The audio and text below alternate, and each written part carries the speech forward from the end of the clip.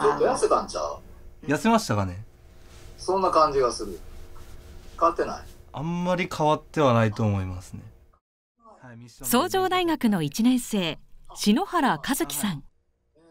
ズームを使って話している相手は和樹さんの学費や生活費を支援してくれている里親たちです。なんか勉強する気起きないってすごいあはい。言ってる時期だったと思うんですけどテスト大丈夫だったんですか？うーん。いまいちでしたね。母親の再婚相手からの暴力で小学5年生から高校を卒業するまで県外の児童養護施設で育った和樹さん。大学に行きたいと思ってたのがえっと中学ぐらいの時からでまあ最初はなんとかなるだろうって思ってたんですけどやっぱ費用がないってなったんで就職が一番いいっていうふうに言われて。そんな和樹さんの進学を後押ししたのがオンライン里親です。経済的な理由で進学を断念せざるを得ない児童養護施設出身の子どもたちを支援するために去年4月に設立された制度。仲介する未来子ども財団が支援が必要な児童養護施設出身の子どもと費用を援助する数名の里親をつなぎます。里親は原則月に1万円年間12万円をその学生が卒業するまでの間支払うというもの。現在この制度を利用し全国で7人の子どもたちが進学をしています。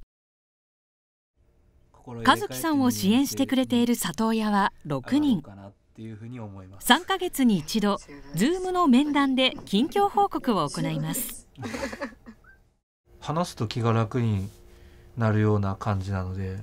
知らないことも教えてくれたりこうしたらいいよってアドバイスもくれたりするんで心の支えっていうかが居心地のいい時間になってるかなと思います。児童養護施設を出た子どもが最初に直面するのが金銭的な問題です。県内で児童養護施設出身の子どもを支援する山下さんによると。進学率はすごく低いかなと思います。やっぱり奨学金とか制度が整うまではやっぱり前は熊本の進学率って本当1割ぐらいだったんですね。児童養護施設を出た子どもたちは親や親戚と疎遠になっている場合が多く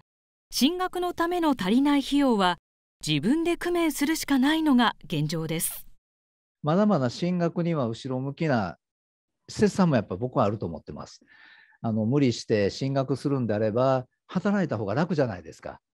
生活の基盤も安定するし児童養護施設のお子さんが進学率の低いのはそういったあのある意味職員さんの親親心みたいなところも僕はあるのかなとやっぱ思ってますね。買い物をするたびに里親からの支援のありがたさを実感するという和樹さん。すごく助かってます。ね毎月一定額支給されるのでそれでいつもご飯とか買ったりとかしてます、ね、20年前にベトナム人留学生として来日した和樹さんの里親ユアさん。私自身もあの母子家庭であの、全然、あの、私費留学ができるような家庭ではなかったんですけど、あの、日本政府の、えっと、奨学金をもらいまして、いろんな、あの、親切な、あの、日本人の方から、いろいろ助けてもらったことがあるので、いつかは、あの、日本人のあの学生さんにもあの何かお力になればいいなとずっと思っていました。現在ゆあさんは子育てをしながら働く2児の母親子供がまだ年中と相産性がかかる時期ですし仕事もするのでオンライン里親のプロジェクトだと無理なく参加できる。普通の寄付だとあのその出したあのお金がどこで使われてるのかは目に目に見えないので学生さんに画面越しではあるんですけど会えていろいろ話ができてすごいこの時間ができるのもすごくいい取り組みだと思います。児童養護施設を出た子どもが抱えるのは金銭的な問題以外にもやっぱり多くのお子さんが何らかのトラウマであったりっていうものをやっぱ抱えながら生活をしているので急に一人に社会掘り出されてしまうとやっぱりいろんな面でしんどくなってあの途中でやめてしまうお子さんが多いなっていうのはやはり感じますね。誰一人やっぱり支えてくれる大人がいないっていうのはやっぱ非常にあの辛いことではあると思います。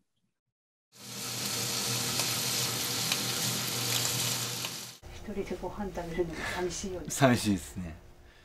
施設を出る時は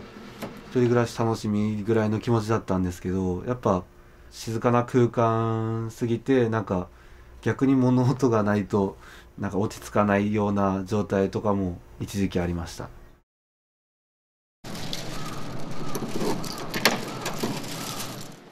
児童養護施設での賑やかな生活から一転一人での生活が始まり孤独を感じる子どもも多いといいますこのオンライン里親も、まあ、実はお金の支援ではあるんですけれども見ず知らずの人がそのお子さんをやっぱり見守ってるよっていう。あのここを感じてもらってあ世の中捨てたもんじゃないなってもし子どもたちが思ってもらえるんであれば多分その後もしっかりと生きていってもらえる。会ったことのないたくさんの人が支えてくれている。和樹さんはそれだけで前を向けると話します。言葉では言い表せないぐらいの感謝の気持ちはありますねやっぱ一人じゃま苦しい時もあるけどやっぱ3ヶ月に1回でもこういう時間があれば結構楽になるので居場所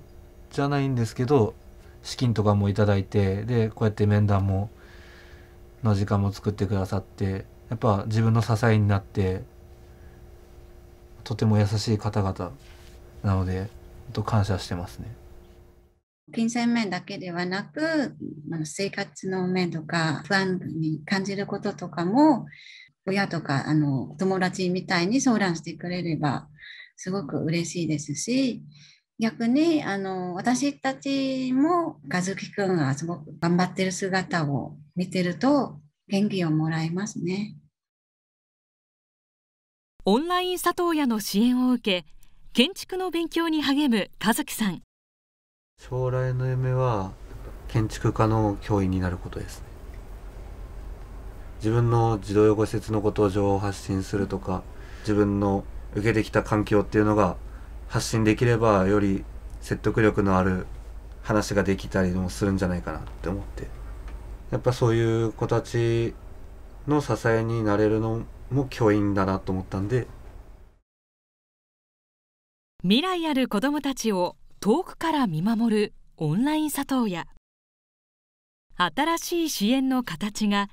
児童養護施設を巣立った子どもたちを支えています。